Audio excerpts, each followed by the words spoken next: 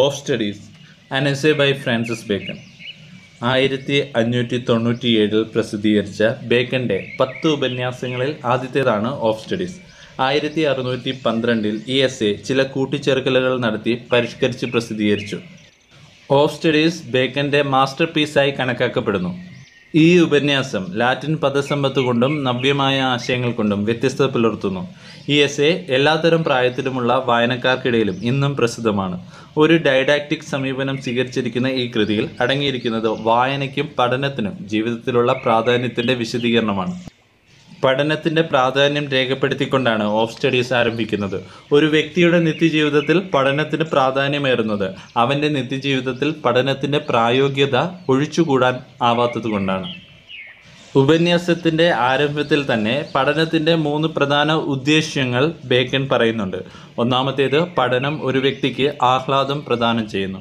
രണ്ടാമതായി ഒരു വ്യക്തിയുടെ വ്യക്തിത്വത്തിന് പഠനത്തിലൂടെയുള്ള അറിവ് ഒരു അലങ്കാരമായി തീരുന്നു. മൂന്നാമതായി പഠനം ഒരു വ്യക്തിയുടെ നേട്ടങ്ങൾ ആർജിക്കാനുള്ള കഴിവിനെ കൂടുതൽ പരിപോഷിപ്പിക്കുന്നു. പദ്ധതികൾ വിജയകരമായി നടപ്പിൽ വരുത്താൻ നല്ല വായനയും അറിവുമുള്ള ഒരു വ്യക്തിക്ക് സാധിക്കുകയുള്ളൂ എന്ന് ബേക്കൻ പറയുന്നു. നിത്യജീവിതത്തിലെ വ്യവഹാരങ്ങളെ കൃത്യതയോടെയും പരിപൂർണതയോടെയും പൂർത്തീകരിക്കാനാകുന്നത് അറിവുള്ള ഒരു വ്യക്തിക്കാണ്. വായന ഒരു പൂർണ വ്യക്തിയെ ഉരുവാക്കുന്നു. ചർച്ച ഒരു സന്നദ്ധ വ്യക്തിയെയും എഴുത്ത് ഒരു മികച്ച വ്യക്തിയെയും ഉരുവാക്കുന്നു.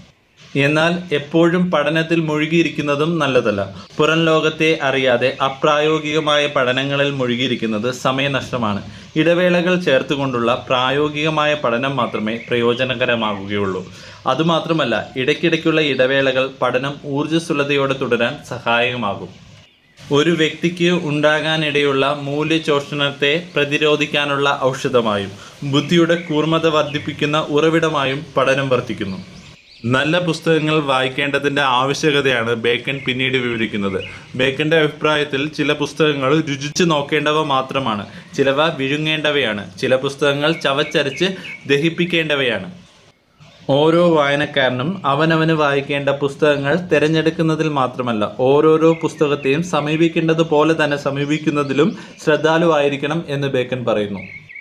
ബേക്കന്റെ ഓഫ് സ്റ്റഡീസ് എന്ന ഉപന്യാസം ഏറെക്കുറെ ഊഷരമായ ഒരു സാഹിത്യരൂപമാണെന്ന് സമ്മതിക്കേണ്ടി വരുമ്പോഴും അതിന്റെ ആശയഗാംഭീര്യം മറ്റെല്ലാത്തിനെയും നിഷ്പ്രമമാക്കുന്നു എന്ന് പറയാതെ വയ്യ.